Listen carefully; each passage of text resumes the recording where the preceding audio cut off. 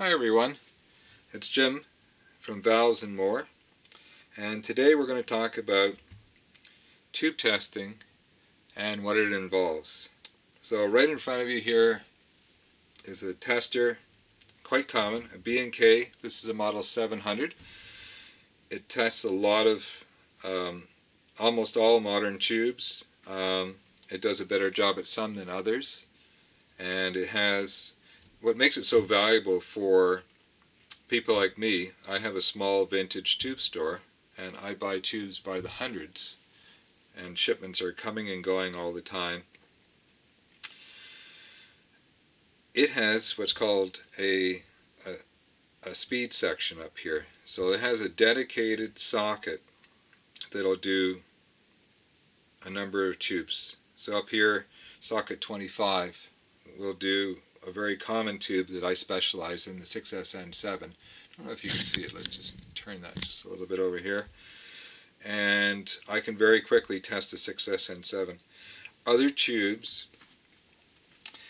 will have to go down into the lower section and here you have to use dials to set the parameters. Here it's all hardwired and you can just go. So let's have some fun. I've got a bunch of shipments that came in recently. I'm always going to the pop, post office, either things coming or going. So what do we got?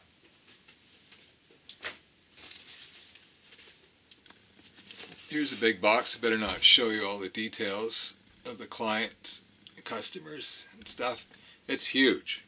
And I, I know what it is because I have a buy sheet for each box of stuff coming in so I can keep track of what I offered and what I paid.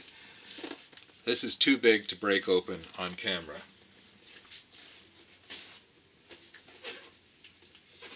But here's a little box that came in. It actually came in from the same bulk tube seller. A different deal. Let's just open it up. I happen to know Peter. I've been buying tubes for a long time from Peter and normally don't have any problems with packaging, so let's let's see what happens here. see what we've got. A bunch of small signal tubes. Those over here. I have bags and bags of popcorn.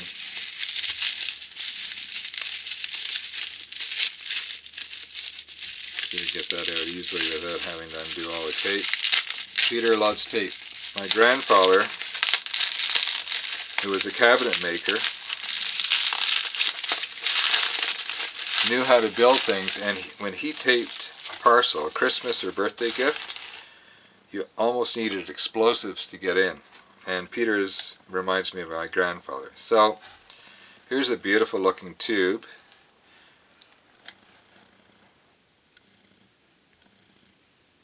And it says on here that it's a 6CA7, which is the North American designation for the power tube. And underneath it actually says it's an EL34. In the previous episode on power tubes, we talked about EL34s. So this is an earlier EL34. And somewhere around here, hang on a second folks, This is so that's an Electro-Harmonix EL34. This is a, the modern configuration that they've come up with. And here is a vintage configuration. You can see there's a huge difference. The pins are the same. Electrically, it's the same. The specifications will be very similar. And I still have to test this tube, but I suspect that this will be a beautiful sounding tube but it's a vintage tube. There's only so many of them left, and we don't know anything about it yet. So let's get this modern one out of the road. You can see here that Peter tested it before he shipped it, but I don't know. Oh, that's the wee doggy. That's Jordy, by the way. You might see him wander in and out of the camera. Now for a tube, I'm not sure how old this is, but I'm going to guess that this is a 60 year old tube. The first clue you get as to how much life is left in a tube is how much wear and tear the body is seeing. It's just an indication. The lettering is all intact. This orange reddish RCA lettering never stayed very well and actually there's quite a bit of it there. Somebody's cleaned this tube, it's not dirty. But the base, the plastic looks very new and the pins look pristine. So, there's one of the tubes maybe we'll test. What else have we got here? I happen to remember most of the tubes in the deal. There's a really beautiful tube. This is a Tesla EL34, very similar to the Electro-Harmonix. Again, same, it's uh, electrically it's identical. All three of these tubes that I've shown you are identical. And again, Peter's tested it. Tesla, the name Tesla, most of you know from the modern car manufacturer, doesn't have anything to do with the original Tesla tube company. And in fact, the most really popular tubes, Mullards, Teslas, all have been reissued. The names have been either bought or just repurposed. And the tubes themselves, in some cases, are built identically to the historic tube, but in most cases not even that. They're just they're just riding on the coattails of a famous tube name. What else have we got in here?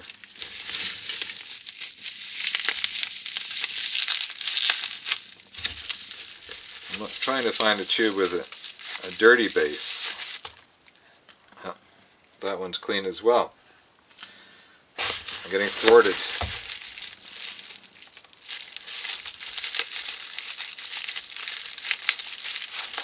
They're all nice. Well, what's in here?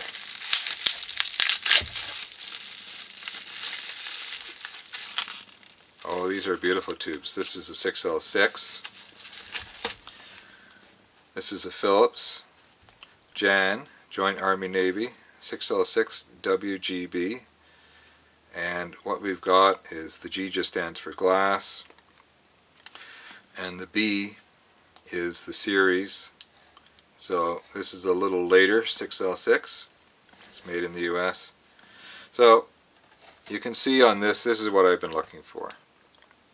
You can see the pins are showing a little bit of corrosion. It's a, it's a 50, 60 year old tube. Let's get the box out of the road.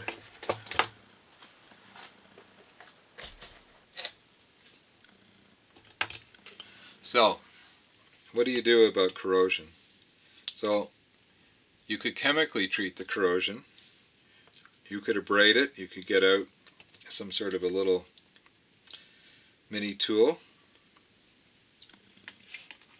like a Dremel. You wouldn't want to put that bit in there, but but I'll show you how I clean vacuum tube pins. In my store I carry a really fine little miniature knife made in stainless steel. They're really quite beautiful. Don't do this over your tube tester, but this is this is what we have for a camera view. So get your blade out so that you've got a very fine tip showing. An X-Acto knife will work perfectly well as well, but you're often snapping off the blades for a nice clean sharp one, and of course in an X-Acto knife you've got to have to replace the blade. So these snap blades are really beautiful for that. Don't try this with a big utility knife. What you want is something really fine so you can get into the corner. So what you do is you get your knife up against the base and you just scrape away. This is not aggressive. This is really very gentle. So I went in one direction, all the way around, the other direction, all the way around and now it's starting to clean up really nicely. In the store I have a selection of brushes. I have nylon. I'll show you what you want nylon for in a minute. I have stainless steel. This is the hardest brush. This will take off the most material. And I have I have brass. So in this case it's not in bad shape. The pins are normally made out of uh, alloy of brass and they're tinned in the case of this. A lot of octal tubes. This is an octal. Eight pins. A very common arrangement. You can see here actually, here's something good to show you. that the pin alignment part broke off. So you can see what it hides in there. and hides with the connection, the last connection to make the vacuum and then seal it off. That's molten glass that sealed it off. It broke off. If that happens, figure out where pin 1 is. It often will say on the base. If it doesn't, what you have to do, and I know I bought a pair of these, is find another identical tube or a very similar tube. So a Philips 6L6 in the same basic configuration. Find another one and locate the pin and then what I do is I make a little mark and I'll actually I'll show that to you in another video and then you've got to be very careful you can't plug a power tube in the wrong way they have to go in the correct way so We've scraped the pins. They're not that bad. I don't want to be too aggressive. I don't want to take off the tinning. So I'm using brass. Brass is a good brush for that. So I'll go around this way once. And I'm basically doing a little finer cleanup.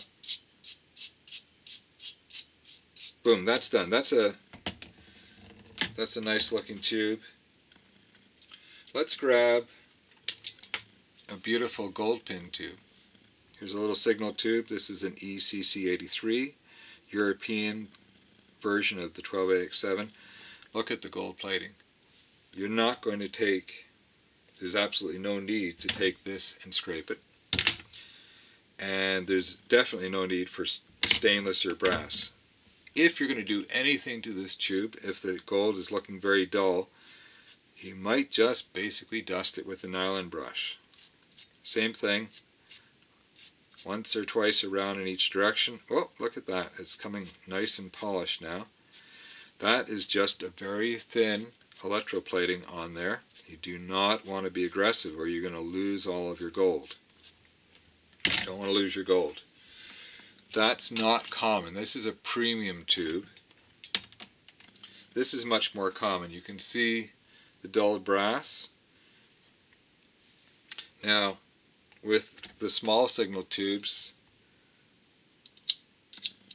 you just do the same thing. You just go around and you just clean it up one direction and then you come back the other way and do the same thing. And you use enough force to bring the tube mostly clean. It doesn't have to be perfect. The inside has usually no contact in the socket. It's all on the sides anyways and we're cleaning up the sides, fronts, sides. Now, if this brass looked in really good shape, I would take the brass brush to it, and that would be the end of it.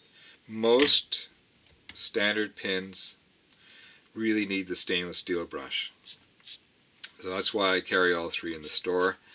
And most of them need a fairly aggressive mechanical brushing to bring them up to a nice looking bright finish. And it probably only takes a couple of passes each, each direction you're done. Okay, last thing to show you. This will be a two-part video, and the next part we'll actually test some tubes, is a pin straightener. This is an antique pin straightener. It was provided by CBS, probably as, you know, handed out the way today you get a, a stir stick for free.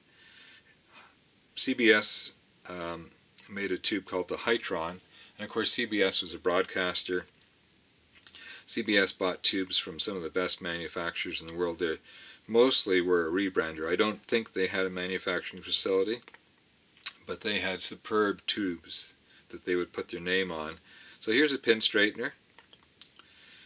That's for the smaller, less common type today. This is for the 9 pin. 9 pin miniature. And boom, Bob's your uncle. I'll do it a couple of times and that makes for a nice straight pin. I've never seen a pin straightener for an octal tube, but you do find these pins to be bent. So let's grab something. If you get a bent pin, get a nice set of needle nose pliers and get in there and very carefully just gently wiggle it, move it over until you've got it straight. Take a look at it. Take your time. You don't want to be forcing these pins back and forth or they'll break. Okay. Oh, if you've watched till the end of the video, I'll show you some discount codes for my store. There we go. And in the next video, we're going to fire up the tester and I'll show you how we test tubes. See you later, folks.